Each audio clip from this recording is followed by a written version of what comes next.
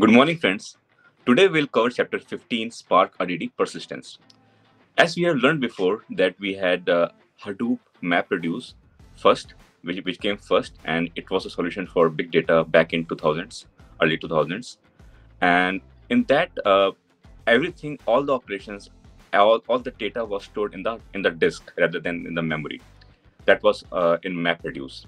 But once we have got this Apache Spark, Apache Spark was like much more advanced. That by default, instead of storing uh, the data in the in the disk, which which involves a lot of disk I/O, which is like uh, not very performant. So Apache Spark always used to store the data in the memory, because memory operations like were, were very fast, and that's the default behavior of Apache Spark. And by uh, once we call about this persist or cache method, the cache methods is by default uh, being called by Spark when we call any actions like reduce by key or group by key. So cache caching, like storing the data in memory, is the default behavior of Apache Spark, which makes it very, very fast.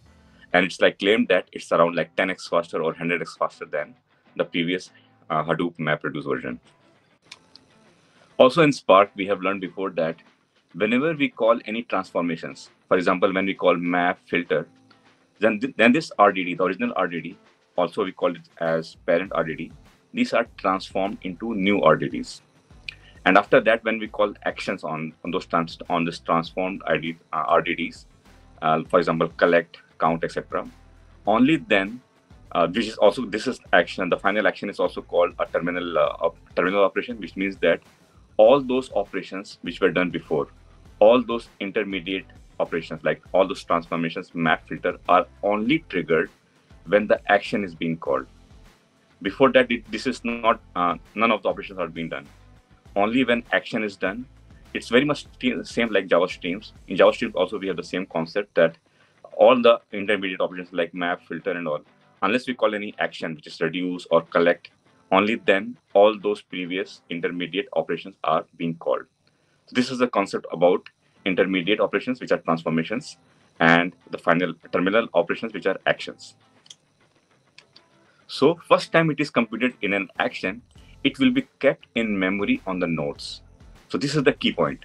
Whenever any action is called, only then all those intermediate operations are being done and the resultant, uh, all those intermediate RDDs which are formed, those are stored in memory. This is the default behavior of Apache Spark. This feature also helps in fault, uh, fault tolerance because uh, just notice that I mean, if we have got a partition uh, in which uh, we have got a lot of RDD transformations being done, and all are being, uh, and we call an action, and all those uh, intermediate RDDs are stored in, in memory, in cache. And uh, because as we know, as we have also noticed that all the data is fault tolerant, it means that it is redundant. All those like nodes are, are copied over to various several other nodes so that in case one of the nodes fails, in that case, the, all those intermediate uh, RDDs which were formed uh, and which were cached in the memory that can be created very very fastly. That's that makes Spark very fast. Now let's talk about uh, two main functions, which is cache and persist. When cache is called, it means that by default, it uh, the uh, all the data, all the intermediate RDDs or all those operations would be stored in the memory only it will it will not be stored anywhere else other than memory. But if we want to use uh, persist, so persist actually has got a storage level as a, as its argument, uh, where we can actually uh, change the behavior. By changing the behavior, we mean that we can either use storage level dot memory only, which is the default behavior when we call cache. So in that case, cache and persist would be behaving same. Uh, if we just use storage level dot memory only in the persist in, in this persist method. Otherwise, there are other uh, there are a lot of other uh, like parameters possible. For example we have got storage level dot memory uh, and disk which means that uh, if, if, the, if the data is like spilling over from the memory memory is not sufficient then we can spill the data to the disk. So all these type of behaviors all these type of different type of storage levels uh, can be customized by using this persist method. So being said that let's revise what are the storage levels possible so as we discussed that memory only is the is the default behavior when we use cache. And if we are using persist with this uh, storage level dot memory only, that will be having the same behavior as cache. The data would be only stored in the memory. And one more important thing is that that how the data is being stored, whether we are going to serialize it, so that I mean by serializing we are comparing it to uh, to Java bytes and then storing it, or we store the deserialized version or the original version of the Java objects. So for the memory only, we are storing it as a deserialized Java object. We are not performing any serialization. Similarly, for memory and disk, so memory and disk, uh, as we discussed, that if the data is uh, like too, too huge to be stored in the memory, then it will spill over to the disk. Now, memory only SER, which means that we are only going to store the data in a serialized form. So there are two types of serialization uh, possible, right? Uh, one is the plain Java serialization, uh, where it will just use the Java implemented uh, serialization interface. And the other one is that we can also have some fast serializers, which are, for example, Java. Uh, for example, there is a Kryo serialization, which is which which can be used. We will discuss about that later um, in our uh, later chapters. So there are different type of uh, like serialization possible. We can pass our own custom serialization process as well. But just note that if we are using a fast serializer, that would be more CPU intensive, which means that it will require more CPU resources to serialize and deserialize it back. Now, similarly, we have got several other versions that we can also have like memory and disk serialization. I mean, so this one was only for memory. We only store the serialized objects into the memory. And this one is that we serialized, uh, we actually store into both memory and disk. And the final version is the disk only. So by disk only, it will not store the partitions uh, in the memory, but only on disk. So this will be having the behavior similar as the previous Hadoop MapReduce. And now they have got other versions like memory only to disk and disk to etc. And uh, which means that uh, it would be using uh, two partitions each partition on two cluster nodes. So they will replicate it not to only like one partition, but at least to the uh, to each partition on two cluster nodes, two different cluster nodes. Okay. So this is the main. I think there are other versions like disk uh, only, like two, disk only, like three, which we'll cover in our test case very soon. And the final one is the off heap. So this is an experimental behavior, which means that uh, it will it will be not storing it into the Java heap memory, but off memory, which is the concept of uh, so that there should be no garbage collection and impacting the performance. So this is supposed to be uh, an experimental feature because uh, if we have uh, this direct memory buffer stuff, I mean where we are storing the data into outside the heap memory that will help us to avoid any any GC garbage collection and avoid any performance impact on that.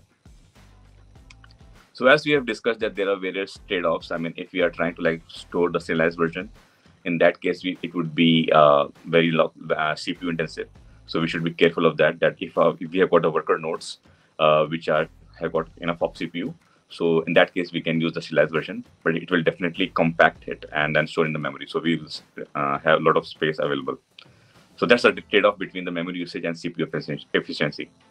And also, if we are using a lot of like fault tolerance, if we have got a lot of uh, nodes, uh, and we need to like replicate the data across all the nodes, in that case also we have to use uh, the serialized version because only then uh, all those data would be like having also having the network latency to transfer all this all those data to all the nodes for having this fault tolerance behavior.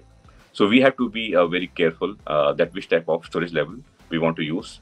If it's too confusing, just use the default, uh, uh the cache, which is the memory only operation, and it always very fast.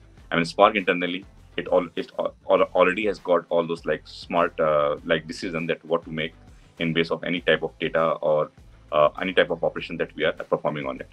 For example, just they talk about this reduce by key. So, so Spark also automatically persists some intermediate data and shuffle operations. Even if you don't call any like cache or persist level, it is smart enough uh, to use an appropriate uh, like serialization of persistent version to make our application very fast.